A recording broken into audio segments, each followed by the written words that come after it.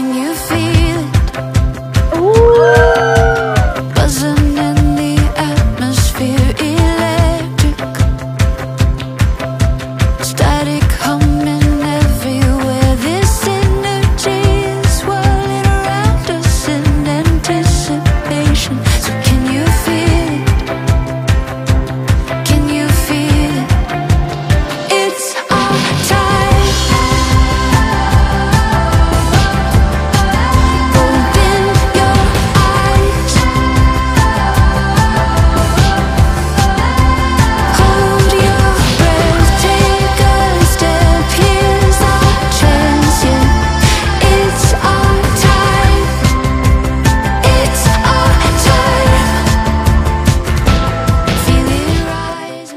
Tayo po ay nagtitipon sa araw na ito upang saksihan ang pag-isang dibdib nila Paul at Jane.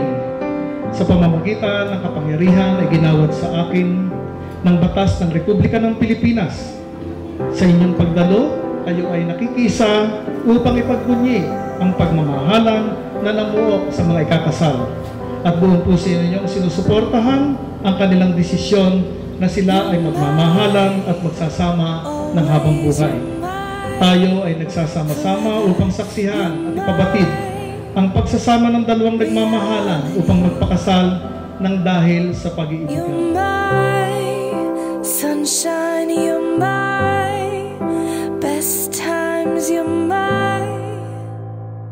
anomaly. Magka-work kami ni Mahal sa uh, Chowking. Siya isa, ah, isa siyang manager din, ako isang cashier. Niligawan ko siya ano, tuwing magka-duty kami sa trabaho.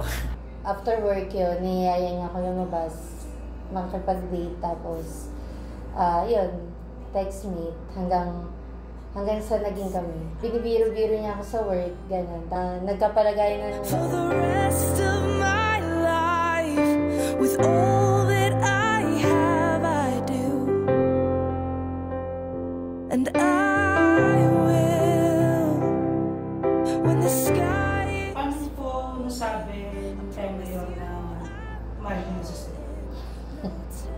nararamdaman mo eh. Tsaka, alam mo na yung, ano, yung deep nung relationship niyo. Yung parang yung, yung love mo sa isang tao. So, dun mo ma-measure na mas nagi, ah, nagiging serious na yung, ano, yung, yung Sa relationship akin, niyo.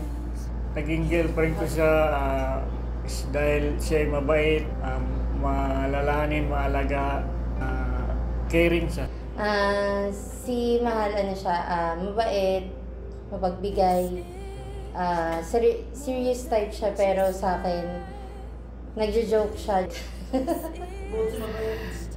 Mabait, maasikaso, maunawain yun lahat. Tsaka, yun, family-oriented, and ano din, madasalin. we will move mountains, we will live on our knees. Cause he'd choose us. Sabi ko lang, ah, mahal, ito na yung araw na kasal natin. Ah, sana tagal pa tayo habang buhay. Ah, maging magkaintindihan, magkaunawaan. Mahal, I love you. And we'd say we do for the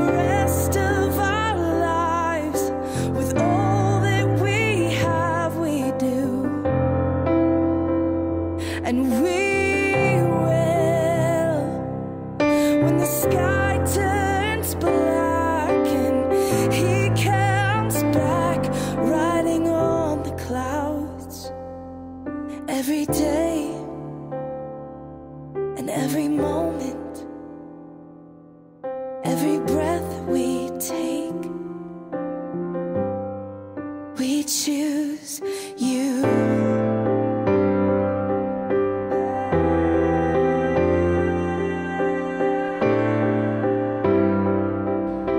Ikakasal na kami, syempre, mas maging maganda sana yung relationship pa namin, mas sumaba pa.